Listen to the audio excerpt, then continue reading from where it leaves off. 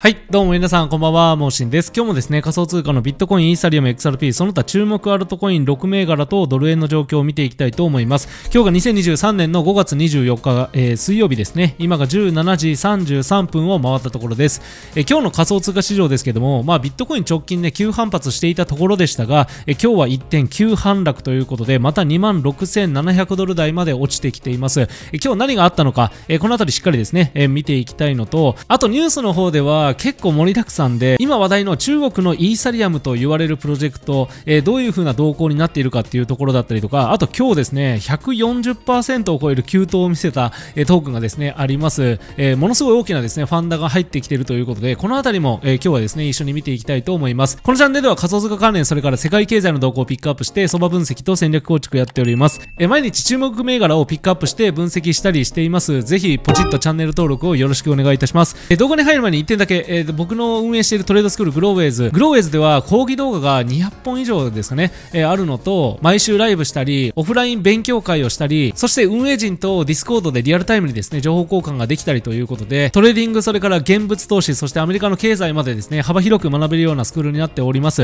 え、詳細に関してはね、え、明日またお伝えしますが、明日から募集を開始しますので、え、もし興味のある方は以下の概要欄にリンク貼ってますので、事前にチェックをしていただければと思います。それでは今日の仮想通貨市場の動向から見ていきたいと思います。はい、今日の仮想通貨市場は全面的に下落ですね。ビットコイン370万ということで2%ダウン、イーサに関しても2%ダウンとなりました。ライトコインは5%ぐらいね、下がっているということで、今日は全面的に反落ということになっています。じゃあまずは株式市場の動向から見ていきたいと思うんですが、今日の日経平均株価0.89%のダウンですね、3万682円となりました。ロイターの記事見ていくと、利益確定売りが優勢になったということで、やっぱりここまでね、かなり短期的に上昇していましたので、利確売りが広がったということが言われています。それからアメリカの債務上限問題、なかなか難航しているようですね。昨日もですね、バイデンさんとマッカーシー下院議長がですね、えー、交渉したわけなんですが、まあ、また妥結には至らなかったということで、マッカーシー議長は共和党の全下院議員と非公開の会合を開いたようでして、ここで、えー、バイデン政権との債務上限交渉はまだまだ続くというふうに述べたということらしいですね。まあ、債務上限を引き上げるかどうかの権限は下院の方が持っていますので、歳出削減をちゃんんとやってくれれば引き上げるよみたいなことを言っていて、えー、バイデンさんはそれをなかなか飲めないっていう状況、まあ、そういう交渉が続いているわけですね。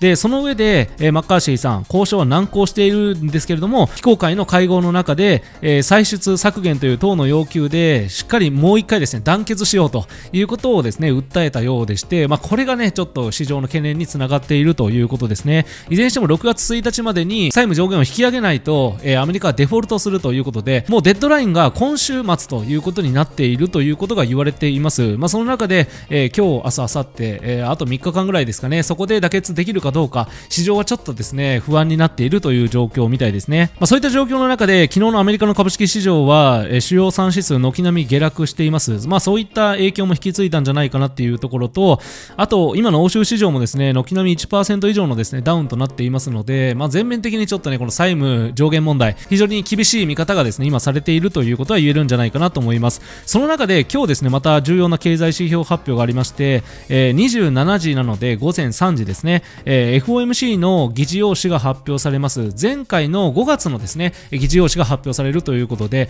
まあ、そこで次の会合6月でどういうふうにしようかみたいな議論がおそらくされていると思うのでその内容が出てくると思うんですよね。なので、まあ、6月で利上げを停止する可能性を示唆しているパウエルさんの発言が裏付けられる議事要旨が出るかどうかですね。ここもしっかり注目なんじゃないかなと思ってています。じゃあここから、えー、仮想通貨市場の動向を見ていきたいと思うんですがまず1つ目コインデスクの記事ですね。アメリカの債務上限問題が合意すればビットコインにはマイナスの影響なんじゃないかとそういう風に唱えるアナリストの方も結構多くいるよっていう記事になっています、まあ、普通に考えて、えー、この危機をですね脱出すればビットコインは上がるんじゃないかっていう風に考えるのがまあ一般的かなとは思うんですがただビットコインへの悪影響と考えられるロジックも存在するということでえどういうロジックかというと債務上限が引き上げられれば財務省は国債をまあ発行するわけですよね。国債発行数の増加は国債の価格をもちろん、えー、押し下げる要因になります。国債の価格が下がるということになれば反対に利回りっていうのは上がっていきますよね。直近のこの動向を見ていくと、えー、国債の利回りとビットコインは逆相関の形で動くと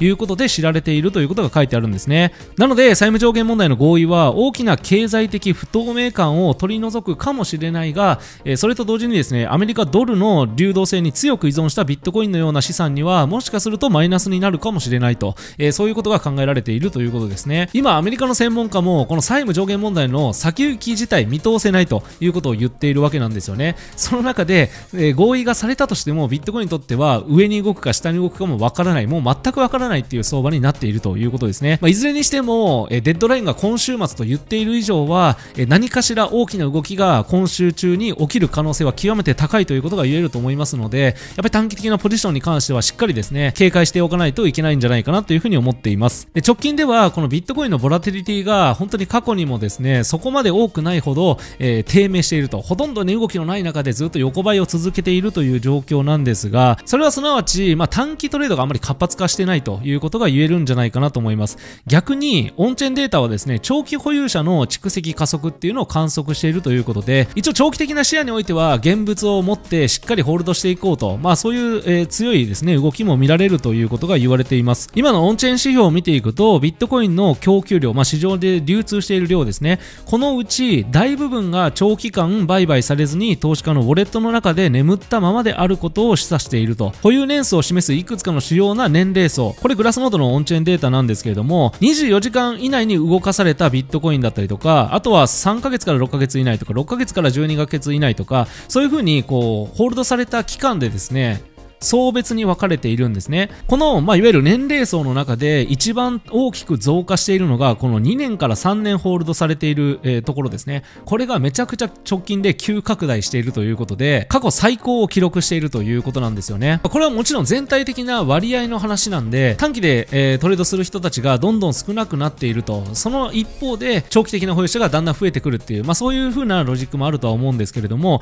まあいずれにしても結構長期保有傾向に今偏ってきているよと、え、そういったところからしても貯金下がったとしてもそこまで大きなですね大暴落みたいなことにはなりづらい状況なんじゃないかということは一つ言えるんじゃないかなと思います、まあ、その中で昨日ビットコインが短期的にちょっと盛り上がった局面があったと思うんですけれども仮想通貨に対して非常に厳しい規制を取っている中国が、えー、特別行政自治区として位置づける香港で国に認可された仮想通貨取引所であれば個人投資家でもですねビットコインやイーサリアムの売買を可能になるという報道があったんですよね、まあ、その中中でひときわ注目を集めているのが中国のイーサリアムと言われているコンフラックスっていうプロジェクトですね。これが注目を集めていると。このコンフラックスの CFX トークン。中国投資家からの資金を呼び込む可能性があるんじゃないかっていう見方がされているということですね、まあ、火曜日に香港の件発表がされた後ですね。CFX トークンの価格は、まあ、一時的に急騰したけどその後はですねそこまで上がってないということですね。今あのコインマーケットキャップ見ていくと時価総額ランキングは52位ということでまあやはり中国系のですね取引所にはほとんど上場されているという感じの、まあ、トークンなんですよね。で、これがまあ直近ね、えー、急騰した場面なんですけども、その後はまあだんだんじりじりと下がってきているということで、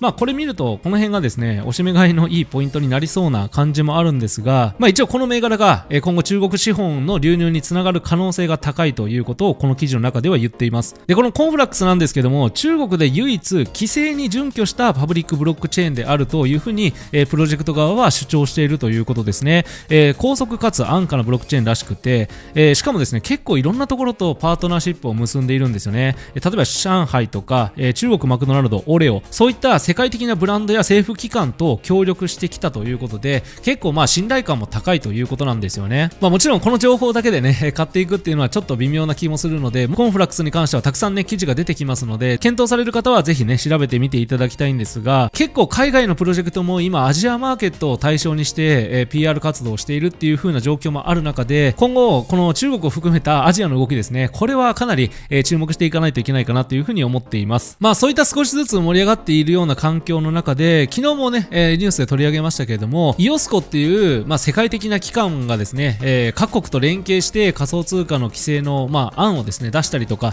そういった動きも出ていますし、直近では G7 でですね、ファトフがこう進めるトラベルルールをの強化をしているという状況なんですけど、これを支持しますみたいなことことも言って、えー、まあ世界的なこう規制強化がですね、えー、高まりつつあるような状況なんですが、直近では日本でもですね、そのトラベルルールに準拠していこうという動きも、えー、たくさんですね、見られていまして、えー、6月1日から仮想通貨のトラベルルールを開始すると、日本政府が閣議決定したというニュースが今日入っています。えー、政府は6月1日から仮想通貨取引の追跡のために、より厳格な反マネーロンダリング AML ですね、えー、この対策を施行することを決定したということですね。まあ、一応この動きは日本で独自時にやるというよりはグローバルな仮想通貨規制に合わせにいくと、まあ、そういう風なところがあってもともとですねパトフから、えー、日本のマレロン対策不十分だよと指摘されていたこともあって、まあ、これをですね閣議決定したということですね。でこのルールでは金融機関や仮想通貨取引所が3000ドル以上の仮想通貨の移転を処理する場合、えー、顧客情報を受け取り側の取引所や金融機関に提供することが求められると。そしてデータには送信者と受信者の名前と住所およびアカウント情報が含まれている必要があるということらしいですね。直近ではこのトラベルルールの準拠によってですね国内の取引所間での送金ができなくなったりとか、まあ、どんどんですねこう対応が厳しくなっているという状況はあるんですが、まあ、今のところ、えー、国内の仮想通貨取引所から海外取引所への送金は、えー、何も言われていないですしもちろん個人のウォレットに送る分にも別に自由ですよね、まあ、そういったところはさすがに規制できないんじゃないかなと思うんですが、まあ、この世界的な規制強化の動きの中でどこまでね、えー、僕たちがこう動きづらくなるかっていうところはしっかり取り上げていきたいと思っています。で最後にビットコインの情報なんですけれども、えー、ビットコインがですね今日急落したところで OI は急増したんですよね。で、えーと、ロングのですね生産っていうのも一定程度起きていると、えー、通常であればロングの生産が起きるんであれば OI 下がって価格下がるっていうことが、えー、考えやすいわけですが今 OI が上がっているということはロングの生産もありながら新規の突っ込み売りが入ってきているということは、えー、一つ言えるんじゃないかなと思うんですよね。OI のボリューム的にもですねかなり多くなってきているということもあって、え、このレンジから抜けるところ、え、これ下に抜けたとしてもですね今持っている、え、ポジションが大量生産されて OI は急落して価格も急落するとか、え、そういう風な可能性もですねありますのでやっぱりこのレンジ抜けはしっかりね警戒が必要かなと思います。これ後でテクニカルで見ていきたいと思います。じゃあ最後に板の状況なんですけど今買い板がね非常に熱くなってきています、えー、買い板の意識されているポイント2万5800っていうところが意識されてますね。その一つ上でいくと、まあ、2万6000付近が熱くなっているという状況が確認されてます、えー、売り板に関しては2万7300と引き続きこの2万7800付近これが意識されているという状況です。それではテクニカル分析入っていきたいと思います。はいじゃあまずはビットコインの4時間足から今日は見ていきたいと思います。今のビットコインの価格が2万6700ドルということで、えー、これ4時間足で綺麗なですねボックス相場を動いていると。で、えー、直近急騰してこの上限のところまで行ったんですがここで抜けていくことができずに急反落という状況となりました、えー、この2万7000ドルがですね非常に意識されていたということもあってこの抜けからですね一気にロング税が生産されたっていうところもあるあるし、えー、新規の売りもですねどんどん入ってきたということで、まあ、結構大きく下げたんじゃないかなっていうふうに思われます。一応同じようなタイミングでナスダックの先物も売られていますし、まあ、日経も売られていると。それからドルに関しては高止まりしているということで、まあ、債務上限問題のね、えー、影響なのかは知れませんが、まあ、全面的にちょっと下落ムードになったということが言えるんじゃないかなと思います。で、まあ、この状況をですね読んでいくっていうのはもうかなり不可能に近いと思っていまして、まあ、日足でもこれだけ綺麗なですねボックス相場を作っていると直近の値動きもかなり大きくなってきていますよね、えー、おそらくこのボックスを抜けるときにはこれとは比にならないぐらいのですね大きな上昇下落になる可能性ありますのでここはしっかり警戒が必要かなというふうに思っています。ちなみにさっき25,800ドル付近意識されていましたがそれはこの5月13日につけたですね安値これが25,800ですので、まあ、ここで拾っていこうというふうに考えている、えロング勢もいるという感じですかね。ただこのボックスを抜けた場合は、えー、日足で見てもですね全ての移動平均線を下に抜けてしまうことになるんですよね。したがってもう2万5800とかでは、まあ、一時的にこう反発されるかもしれませんが最終的にはこの上昇、えー、下落平行チャンネルの下限値、えー、あとこの水平線重要な水平線である2万5000ドル、えー、こういったところがですね、え、目指される相場になる可能性は十分にあるんじゃないかなと思っています。でもし2万5000まで下がるとなると、えー、こういった移動平均線が上から重くですねのしかかってくるような相場展開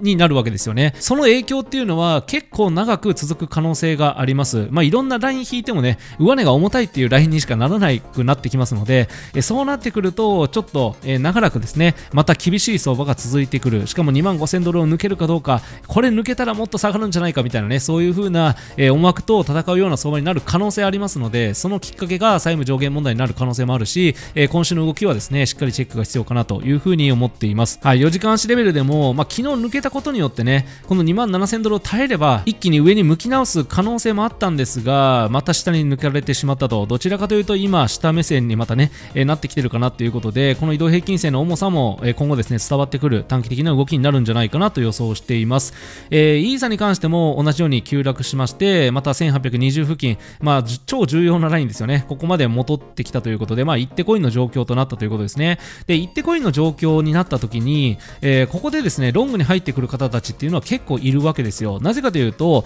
えー、ここでロングを持っていた人たちが利確しまくって一旦、あの、元の水準に戻ったと。しかも、高値付近でショートに入ってきた人たちっていうのは、どこで利確するかというと、一旦反発されそうなライン、ここで利確するわけですよね。ということは、ここである程度フラットになって、押し目買いが狙われるっていうのが一応セオリーなんですけど、逆に言うとですね、これが抜かれてしまったら、え次大きなですね、急落になるということで、結構瀬戸際な今、局面に来ているかなというふうに思っています。まあ今の時点どっちに動くかっていうのは、これも正直もう全くわからないという状況なんですが、まあ少なくともこの1820付近ですよね。これを起点にどうなるか、えー、下に抜ければ一気に1680、まあ1700台ぐらいまでですね、落ちる可能性ありますし、ここでしっかり耐えることができれば、下降平行チャンネルの上限値、まあ1900ドルぐらいまで急進する可能性もあると、まあそういった、えー、非常に難しい相場になっていますので、引き続き、えー、これ注視が必要かなというふうに思っています。で、XRP は今日ちょっとね、下がりました45セントということで、まあまだ45セントのラインは割っていないんですが、まあ、ここは結構ね、僕は底堅くなるんじゃないかなと思っています。まあ移動平均線もありますし、45セントの、え、この水平線ですね、これも結構強力ですので、まあここで、あとはね、ここの逆三尊の肩の部分にも一致しますので、えー、ここでまあ耐えられるかどうか重要なポイントですが、ある程度ね、ここは硬いんじゃないかなというふうに短期的には思っています。えー、4時間足レベルで見てもね、もう移動平均線密集なので、まあ、これも正直言ってどっちに動くかはわからないんですが、まあ、逆に言うと、この45セントを抜かれてしまうと、まあ、ここでもあった通りですね、一気に42セント台までまた急落ということが考えられますし、またここまで落ちると、今度は移動平均線の重さが際立ってきますので、えー、復活もこういう風な V 字回復にはならない可能性が出てくると。まあ、その中で、リップルに関しては6月の13日に、貧満文書が公開されるという、まあ、XRP 独自のファンダがあったりするので、これも不確実要素はかなりね、高くなっているんじゃないかなと思っています。えー、それからディーププレインチェーンですね。昨日もまあご紹介しましたが、非常に強い動きの中で今日も急進を続けています。2%上昇してますね。今の価格が0.4セントということで、まあ、ついにここのですね、えー、非常に重要な抵抗体まで値を戻してきたという感じになりました。えー、基本的にはですね、ここ非常に重たいと思いますので、短期的な、えー、反落っていうのは考えておかないといけないかなと思っています。ただし、反落したとしても、下に移動平均線を控えているということもあり、えー、ここからはですね、底堅く、まあ、下がったとしても、押し目買いが、えー、拾われてですね、一旦この5セント付近のこの価格帯の中にはですね、突入してくる可能性っていうのは、えー、僕は結構高いんじゃないかなというふうに思っています。えー、体のまだ耐えてますね。今日も1%ぐらい下落しましたが、な,、まなんとかまだ耐えているということで、今36セント。えー、これも35セントラインですよね。ここの、まあ、価格帯が、えー、支えられるかどうかっていうところが非常に重要なポイントになってきています。で、結構ね、この横ばい期間が長いので、早いところ上に上がっていかないと、えー、下向きの意識が、まあ、作られてくると。まあ、あまり長く横ばい続けてしまうと、この反発してきたにもかかわらず、次上に行く力がないのかと、えー、そういう風になってくると、えー、一点ですね、売り圧が強まってくるっていうことも考えられますので、まあ、今ここのですね、安値を切り上げたライン、こういうところが意識されていると思うんですが、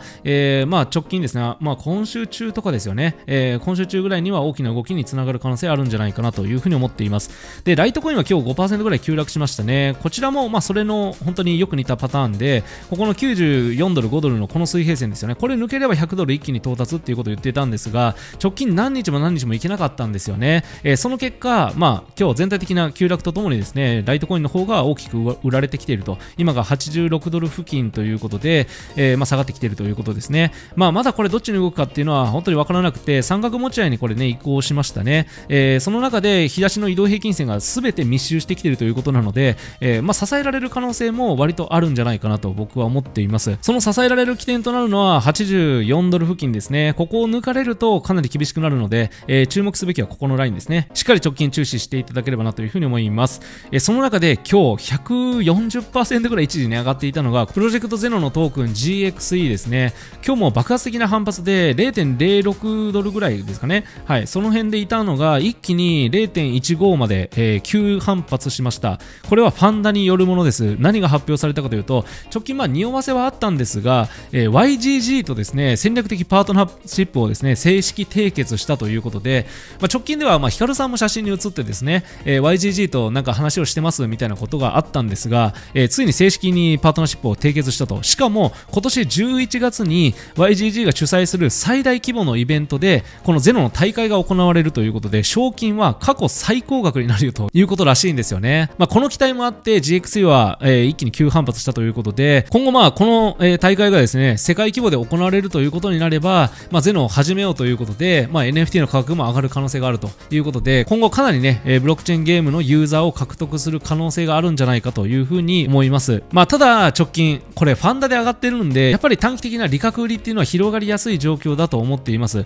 まあ、その中でこの12セントのところ、非常に重要なラインを抜けていますが、これをまずは、このローソク足の実態が、このラインを抜けて確定できるかどうかですね。まだちょっとね、えー、結構利確売り広がってるんで、一旦また、えー、10セントを切るぐらいまでね、戻ってくる可能性はあるんじゃないかなと思っています。4時間足レベルで見ても、やっぱり移動平均線の密集の起点となっているのが10セント付近なんですよね。はい。なので、この辺まで下がってくると、また押し目買いが狙われるということで、えー、まあ、底堅い動きの中で短期的にはちょっとね、調整警戒しておかないといけないかなというふうに思っています。その中で直近じりじりと強さを見て見せてきているのが、この BIT ですね。えー、連日お伝えしていますが、ここの水平ライン、えー、これ51セント付近なんですが、これ昨日の日足レベルで一気に突破したわけですね。まだ移動平均線密集すべて抜けたわけではないですが、ここ連日ずっとですね、底堅い動きの中でじりじりと上げてきているという状況で、今日の急落もですね、まあ今のところ見ると結構反発しています。えー、前日比で言うと0.4%ぐらいしか下げていないという状況ですので、まあ、この移動平均線たちの支えを受けながらですね、えー、直近はこの56セント付近を試しに行く可能性は結構高いんじゃないかなと思っています。一方で結構まずくなってきたのが ICP、えー、この移動平均線密集をですね、今、冷やしレベルで抜けようとしています。直近にはこの三角持ち合いもね、下に抜けたような形になりましたので、ちょっと売り圧が強まってくる可能性はしっかり考えておかないといけないかなと。で、この下落が始まった場合はですね、4.4ドル付近までね、え重要なこうサポット帯っていうのがないので、えー、この辺までね、下げるっていう可能性を考えておかないといけない状況かなと思います。はい、その中でドル円ですね、最後見ていきたいと思うんですが、ドル円は高値に張り付いてます。今138.5ということで、もうこの抵抗ライン、非常に重要な抵抗ラインの上限値に張り付いているということで、いつ押し出されてもおかしくないという状況になっています。短期的に下がったとしても、この移動平均線に支えられて、えー、最終的にはこの138を抜けて142、144の付近までですね、一気に急上昇する可能性が僕は高いんじゃないかなと思っていますので、まあ、短期的な押し目買いがですね、やはり、狙われるような状況かなと思います。まあ、4時間足で見ると、ちょっとね、ダイバージェンスが発生しているので、短期的な調整はね、ちょっと、警戒しないといけないかなというところなんですが、依然として中期的に見るとですね、まだ上を試しに行く可能性は十分にあるという相場じゃないかなというふうに思っています。はい、ということで今日は、え7通貨とドル円の状況、ちょっとね、ニュースも含め盛りだくさんで、え見てきましたけれども、まあいろいろこう強気な話題、まあ、それからゼノのゲームユーザーからする僕としても嬉しい話題っていうのはあったんですが、やっぱりそれを置いといて、今やっぱり注目しないといけないのは、債務上限問題ですよね。どういう妥結がされようと、どういう動きになるかが全く読めないという状況ですので、えー、特に今週の動き、まあ今日の、えー、議事要旨も発表されますが、そのあたりもしっかりですね、注目していただければなというふうに思います。また議事要旨の内容とかに関しては明日の動画で、えー、しっかり取り上げていきたいと思いますので、ぜひチャンネル登録とグッドボタンで評価していただければと思います。ということで今日の動画はここまでにしたいと思います。最後までご視聴いただきありがとうございます。